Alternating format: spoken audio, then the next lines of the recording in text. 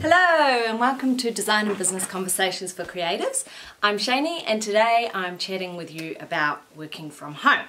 Uh, I'm going to share my five top tips for working from home. I know it can be really difficult for some. Um, I've noticed particularly at this time we're in New Zealand, we're in a um, stage 4 alert uh, for COVID-19 so a lot of people are having to work remotely so uh, this is for not just creatives but everyone who's working at home remotely.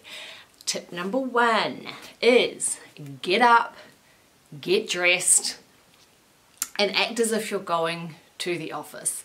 This is really important. Uh, when I say get dressed I don't usually look like this. I'm looking like this because I'm on a YouTube channel. However, when I get up and get up, get dressed in the morning, uh, I usually wear active wear, anything but pajamas.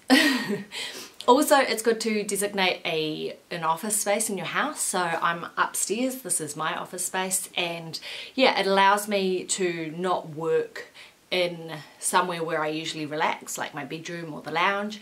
Um, it just offers a bit of separation.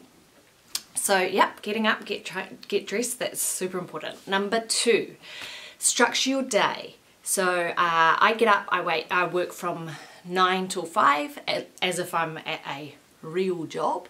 Um, and I take a break in the middle for lunch and also two two breaks oh, probably a few more than that just to make a coffee and stuff like that but it's super important to um, time block and be quite disciplined with yourself in, in those working hours. Set your own parameters. Number three, organize your space. Uh, for me, it's really important that my desk and my environment is clean. That allows me to have a clear head to create. Um,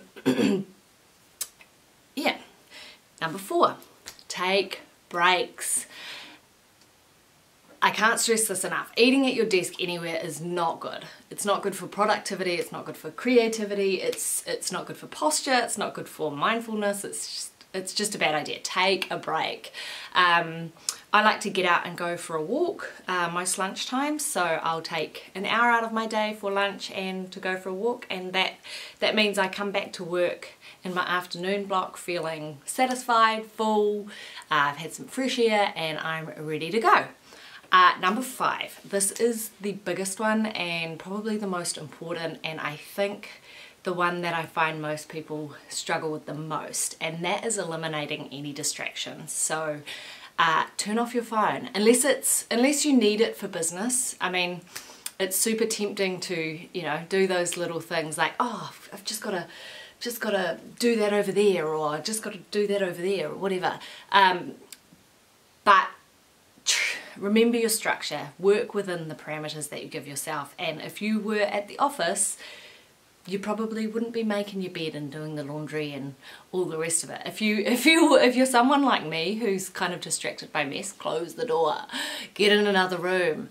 Um, yeah, setting boundaries is super important when you're working for yourself um, and when you're working from home. So I have people calling me, I just have to say no. Don't answer those calls, call them back at a time that's convenient, do not let it disrupt your flow.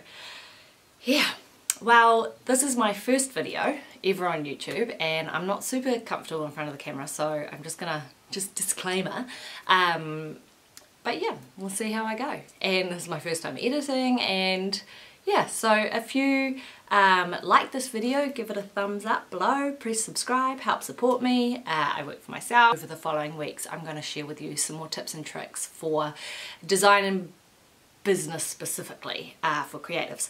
So yeah, thank you and I'll see you next time. Bye.